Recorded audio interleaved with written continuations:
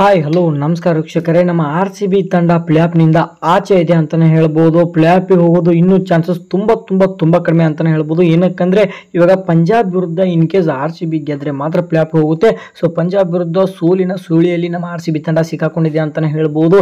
ಹತ್ತತ್ರ ಐದುವರೆಗೆ ಎಂಬತ್ತು ರನ್ಗಳು ಬೇಕಾಗಿವೆ ಅಂತಲೇ ಹೇಳ್ಬೋದು. ಈ ಒಂದು ಪಂದ್ಯ ನಡೀತಾ ಇರುವ ಪಂದ್ಯವನ್ನು ಬೆಂಗಳೂರು ತಂಡ ಏನಾದರೂ ಸೋತ್ರೆ, ಅಂದ್ರೆ ಆರ್ ಸಿ ತಂಡ ಇನ್ ಕೇಸ್ ಸೋತ್ರೆ ಪ್ಲೇಆಫಿಗೆ ಹೋಗೋಕೆ ಇನ್ನೂ ಅವಕಾಶ ಇರುತ್ತಾ? ಪ್ರತಿಯೊಂದು ಮಾಹಿತಿನ ತಗೊಂಬರೋಣ ವಿಡಿಯೋನ ಹಾಕೊಂಡೆ ತನಕ ನೋಡಿ. ಹೊಸೊಬ್ಬರು ಸಬ್ಸ್ಕ್ರೈಬ್ ಮಾಡಿ ಸಬ್ಸ್ಕ್ರೈಬ್ ಬೆಳಕ್ ಐಕಾನ್ ಆನ್ ಮಾಡ್ಕೊಳ್ಳಿ. ತಡ ಮಾಡದೆ ವಿಡಿಯೋನ ಶುರು ಮಾಡೋಣ. ಈ ಒಂದು ಪಂದ್ಯದ ಬಗ್ಗೆ ಏನು ಹೇಳಬೇಕಾಗಿಲ್ಲ. ಆರ್ ಸಿ ಮತ್ತೆ ಪಂಜಾಬ್. ಸೊ ಲಿವಿಂಗ್ ಸ್ಟೋನ್ ಅವರು ಚೆನ್ನಾಗಿ ಬ್ಯಾಟಿಂಗ್ ಮಾಡಿದ್ರು. ಅದೇ ತರ ನಮ್ಮ ಪರವಾಗಿ ಹರ್ಷದ್ ಪಟೇಲ್, ಹಸರಂಗ ಅವರು ಉತ್ತಮವಾದ ಬೌಲಿಂಗ್ ಅನ್ನ ಮಾಡಿದ್ರು ಅಂತಾನೆ ಹೇಳ್ಬೋದು. ಶಹಬಾಜ್ ಮತ್ತೆ ಮ್ಯಾಕ್ಸಲ್ ಅವರು ರನ್ ಅನ್ನ ಕಟ್ ಹಾಕಿದ್ರೆ ಜೋಯಸ್ ಹೆಜಲ್ವುಡ್ ಅವರು ನಾಲ್ಕು ಓವರ್ಗೆ ಹತ್ತತ್ರ ಅರವತ್ತಕ್ಕೂ ಹೆಚ್ಚು ರನ್ ಗಳನ್ನ ನೀಡಿ ತುಂಬಾನೇ ಎಕ್ಸ್ಪೆನ್ಸಿವ್ ಆದ್ರು. ಇದು ಪ್ರಮುಖ ಒಂದು ಕಾರಣ ಅಂತಾನೆ ಹೇಳ್ಬೋದು. ಪಂಜಾಬ್ ಇಷ್ಟೊಂದು ರನ್ ಕಳಿ ಹಾಕಕ್ಕೆ.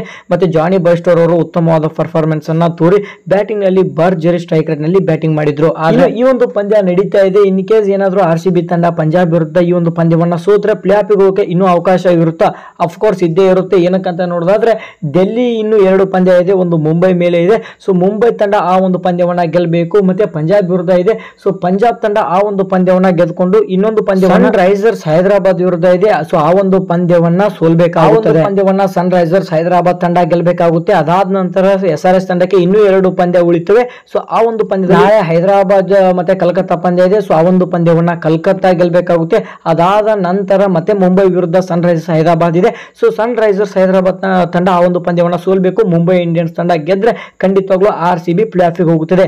ಇನ್ ಕೇಸ್ ಎರಡಕ್ಕೆ ಎರಡು ಪಂದ್ಯವನ್ನ ಮುಂಬೈ ತಂಡ ಗೆದ್ದುಕೊಂಡ್ರೆ ಮುಂದಿನ ಒಂದು ಪಂದ್ಯವನ್ನ ನಾವು ಲಕ್ನೋ ಸಾರಿ ಗುಜರಾತ್ ವಿರುದ್ಧ ಗೆಲ್ಬೇಕಾಗುತ್ತೆ. ಅಂದ್ರೆ ಹಾರ್ದಿಕ್ ಪಾಂಡ್ಯ ಅವರ ತಂಡದ ಮೇಲೆ ನಾವು ಗೆಲ್ಬೇಕಾಗುತ್ತೆ. ಅಂದಾಗ ಪ್ಲೇ ಆಫ್ ಅವಕಾಶ ಇರುತ್ತೆ.